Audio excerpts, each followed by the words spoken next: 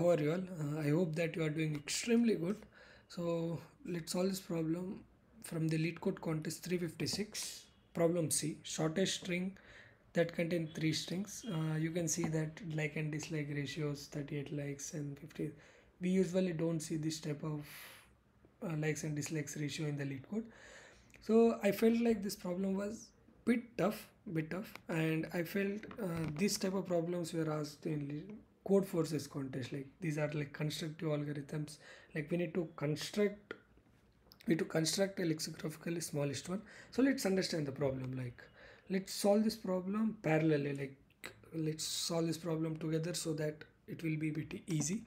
So for in the first, let's understand the question. It states that given three strings ABC and our task is to find a string that has the minimum length it should be minimum length and contains all three strings as substrings. Now if you see this example abc bca and abc bca and aaa and he given out aaa bca if you see that abc is present abc is present bca is present bca is present aaa is present AAA. so this is our answer. If if my answer is a a b and my another answer is b a a these two are the minimums. These two are the minimums. And he's stating that if there are multiple substrings multiple such we need to return the lexicographically smallest one. What is the lexicographical a a b is the lexicographical small. How we will check? We will check a b. Which is smaller? A is smaller. Directly. If if it is a a b and a a c we will check a a. It is same AA it is same B is smaller than C it is lexicographically the smallest one. This is the lexicographical smallest one this it is the definition and substring is a continuous sequence of characters within a string. There is a difference between substring as well as a subsequence. Subsequence is such that if you remove some characters in between then also it is valid subsequence but if in substring we need to either remove from the beginning or we need to remove from the end that's it and it should be in between and uh, it should be the array should be continuous huh? so it, you have given this example a b c b c if you see like what exactly is happening. So let's a b c b c a and a a a. Uh, a b c b c a. Now if we concatenate these both strings a b c b c a this b c b c is repeating right this BC BC is repeating. So what we will do? We will remove one right? We can remove one. Then what we will get? A B C A. A B C A. If you concatenate with this A A A. If you see that this A is repeated this A is repeated if we can remove this. We can remove this. We are getting A B C A A A. This this is one of our answer we can't say that uh, if we are getting multiple this such type of answer we need to go for lexicographically the smallest one. If you see the permutations in this way we are getting this answer. If you see the permutations like this if we are take a a a and what will say okay i will take a a a in the beginning and i will concatenate with abc i will concatenate with abc and if you see that this a this a is repeated so I, what will i will remove one a a a b c then I have BCA BCA now what I will do BC BC same I will remove one BC we are removing A A B C A. This is our final answer.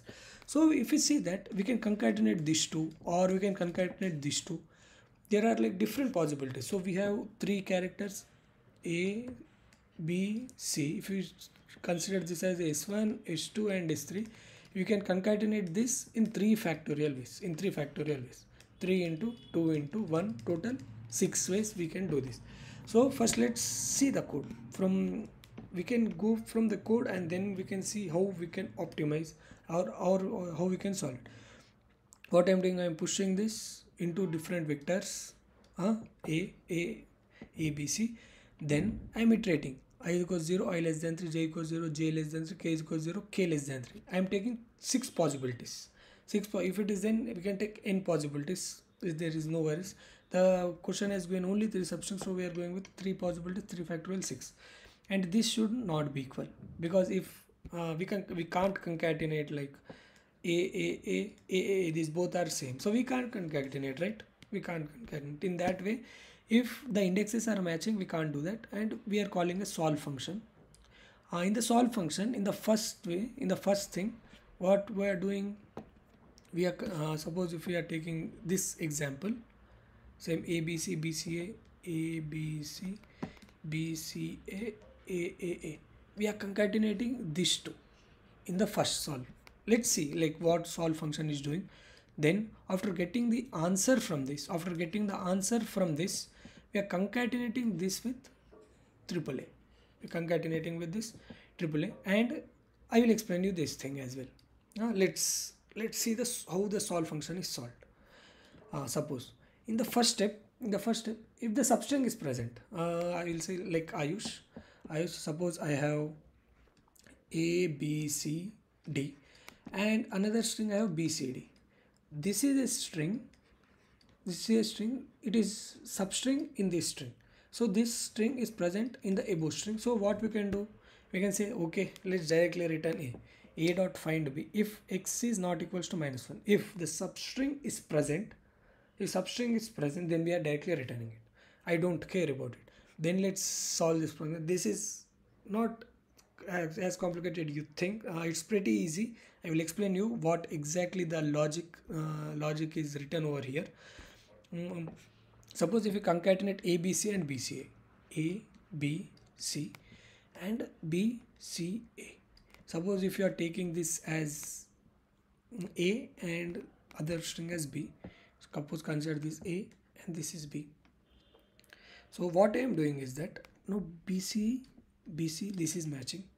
I am iterating from a. I am iterating from a and i am checking whether it is matching or not. A a a b now i am iterating and i am saying like whether it is matching or not. A b it is not matching so i will say okay let's let's stop over there.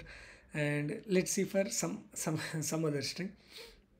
See uh, uh, like if it is matching we are continuing or else we are breaking or else we are breaking. Suppose then i is coming over here then bb is matching then a of k is equals to b of j a of k is equals to b of j and we are incrementing the c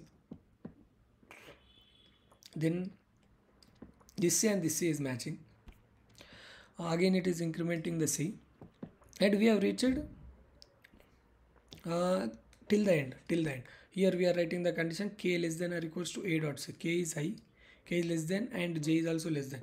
If k is reached the, to the end if it is reached till the end what we can say that this is this is the repeated string. This is the repeated string so we got the count right. Now suppose the count is 2 uh, we can start from index 2 because 0 1 2 we will can start from index 2 and we can push all the remaining elements. It's pretty simple guys. Like i will explain with some other example.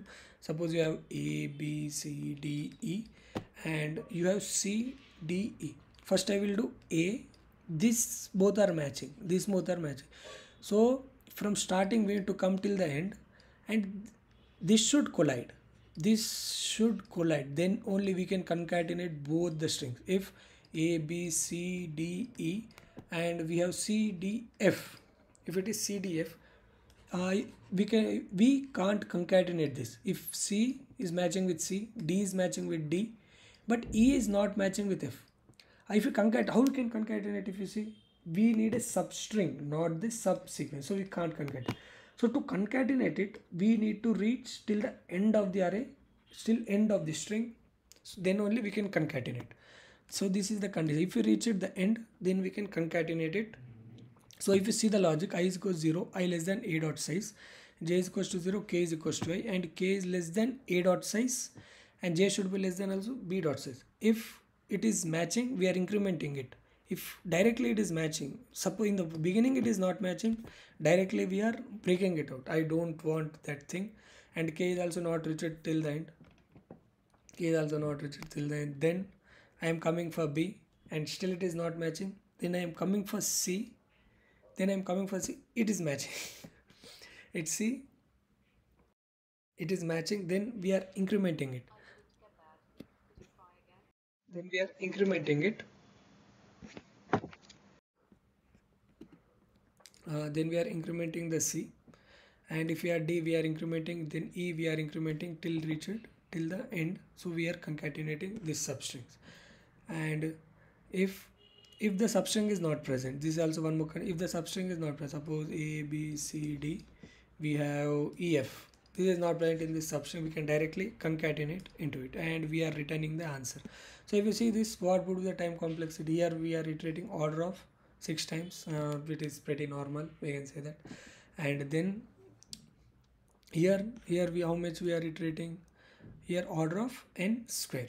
It will take hardly order of n square so if you see that uh, it is given only n so the time complexity would be order of n square and the space would be uh, space would be pretty straightforward order of like how many strings are present a plus b plus c and i think you understood this solution. And if you understood like please like and do subscribe to my channel.